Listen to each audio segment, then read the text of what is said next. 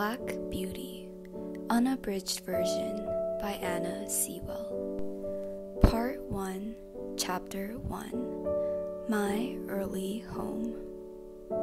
The first place that I can remember well was a large, pleasant meadow with a pond of clear water in it. Some shady trees leaned over it, and rushes and water lilies grew at the deep end. Over the hedge on one side, we looked into a plowed field, and on the other, we stood over a gate at our master's house, which stood by the roadside. At the top of the meadow was a plantation of fir trees, and at the bottom, a running brook overhung by a steep bank. While I was young, I lived upon my mother's milk, as I could not eat grass. In the daytime, I ran by her side, and at night, I lay down close by her. When it was hot, we used to stand by the pond in the shade of the trees, and when it was cold, we had a nice warm shed near the plantation. As soon as I was old enough to eat grass, my mother used to go out to work in the daytime and come back in the evening. There were six young colts in the meadow besides me. They were older than I was. Some were nearly as large as grown up horses. I used to run with them and had great fun. We used to gallop all together round and round the field as hard as we could go. Sometimes we had rather rough play, for they would frequently bite and kick as well as gallop. One day, when there was a good deal of kicking, my mother whinnied to me to come to her, and then she said, I wish you to pay attention to what I'm going to say to you. The colts who live here are very good colts, but they are cart horse colts, and, of course, they have not learned manners. You have been well bred and well born. Your father has a great name in these parts, and your grandfather won the cup two years at the Newmarket races. Your grandmother had the sweetest temper of any horse I ever knew, and I think you have never seen me kick or bite. I hope you will grow up gentle and good and never learn bad ways. Do your work with a good will, lift your feet up well when you trot, and never bite or kick, even in play. I have never forgotten my mother's advice. I knew she was a wise old horse, and our master thought a great deal of her. Her name was Duchess, but he often called her Pet. Our master was a good, kind man. He gave us good food, good lodging, and kind words. He spoke as kindly to us as he did to his little children. We were all fond of him, and my mother loved him very much. When she saw him at the gate, she would neigh with joy and trot up to him. He would pat and stroke her and say, Well, old pet, and how is your little darky? I was a dull black, so he called me Darky. Then he would give me a piece of bread, which was very good, and sometimes he brought a carrot for my mother. All the horses would come to him, but I think we were his favorites. My mother always took him to the town on a market day in a light gig. There was a plowboy, Dick, who sometimes came into our field to pluck blackberries from the hedge. When he had eaten all he wanted, he would have what he called fun with the colts, throwing stones and sticks at them to make them gallop. We did not much mind him, for we could gallop off, but sometimes a stone would hit and hurt us. One day he was at this game and did not know that the master was in the next field, but he was there, watching what was going on. Over the hedge he jumped in a snap, and catching Dick by the arm, he gave him such a box on the ear as made him roar with the pain and surprise. As soon as we saw the master, we trotted up nearer to see what went on. Bad boy, he said. Bad boy to chase the colts. This is not the first time, nor the second, but it shall be the last. There, take your money and go home. I shall not want you on my farm again. So, we never saw Dick anymore. Old Daniel, the man who looked after the horses, was just as gentle as our master, so we were well off. Chapter 2 The Hunt I was two years old when a circumstance happened which I have never forgotten. It was early in the spring. There had been a little frost in the night, and a light mist still hung over the plantations and meadows. I and the other colts were feeding at the lower part of the field when we heard, quite in the distance, what sounded like the cry of dogs. The oldest of the colts raised his head, pricked his ears, and said, There are the hounds!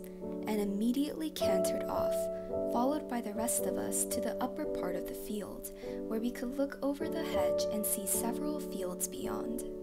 My mother and an old riding horse of our master's were also standing near and seemed to know all about it. They have found a hare, said my mother, and if they come this way, we shall see the hunt. And soon the dogs were all tearing down the field of the young wheat next to ours. I never heard such a noise as they made.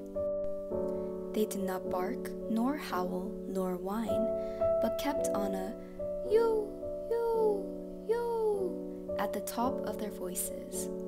After them came a number of men on horseback, some of them in green coats, all galloping as fast as they could. The old horse snorted and looked eagerly after them, and we young colts wanted to be galloping with them, but they were soon away into the fields lower down. Here it seemed as if they had come to a stand. The dogs left off barking and ran about every way with their noses to the ground. They have lost the scent, said the old horse. Perhaps the hare will get off. What hare? I said. Oh, I don't know what hare. Likely enough, it may be one of our own hares out of the plantation. Any hare they can find will do for the dogs and men to run after. And before long, the dogs began their yo yo again, and back they came all together at full speed, making straight for a meadow at the part where the high bank and hedge overhang the brook. Now we shall see the hare, said my mother. And just then, a hare wild with fright rushed by and made for the plantation. On came the dogs. They burst over the bank, leaped the stream, and came dashing across the field, followed by the huntsmen. Six or eight men leaped their horses clean over, close upon the dogs. The hare tried to get through the fence. It was too thick, and she turned sharp round to make for the road, but it was too late. The dogs were upon her with their wild cries. We heard one shriek, and that was the end of her. One of the huntsmen rode up and whipped off the dogs, who would soon have torn her to pieces. He held her up by the leg, torn and bleeding, and all the gentlemen seemed well pleased. As for me, I was so astonished that I did not at first see what was going on by the brook, but when I did look, there was a sad sight. Two fine horses were down, one was struggling in the stream, and the other was groaning on the grass. One of the riders was getting out of the water covered with mud, the other lay quite still. His neck is broken, said my mother. And serves him right, too, said one of the colts. I thought the same, but my mother did not join us. Well, no, she said, you must not say that. But though I am an old horse and have seen and heard a great deal, I never yet could make out why men are so fond of this sport. They often hurt themselves, often spoil good horses, and tear up the fields, and all for a hare or a fox. Or a stag, that they could get more easily some other way. But we are only horses and don't know. While my mother was saying this, we stood and looked on. Many of the riders had gone to the young man, but my master, who had been watching what was going on, was the first to raise him. His head fell back and his arms hung down, and everyone looked very serious. There was no noise now, even the dogs were quiet and seemed to know that something was wrong. They carried him to our master's house. I heard afterwards that it was young George Gordon, the squire's only son, a fine, tall young man, and the pride of his family. There was now riding off in all directions to the doctor's, to the farrier's, and no doubt to Squire Gordon's, to let him know about his son. When Mr. Bond, the farrier, came to look at the black horse that lay groaning on the grass, he felt him all over and shook his head. One of his legs was broken. Then someone ran to our master's house and came back with a gun. Presently, there was a loud bang and a dreadful shriek, and then all was still. The black horse moved no more. My mother seemed much troubled. She said she had known that horse for years and that his name was Rob Roy. He was a good, bold horse, and there was no vice in him. She would never go to that part of the field afterwards. Not many days after, we heard the church bell tolling for a long time, and looking over the gate, we saw a long, strange black coach that was covered with black cloth and was drawn by black horses.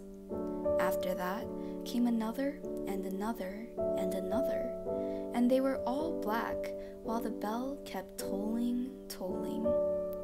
They were carrying young Gordon down to the churchyard to bury him.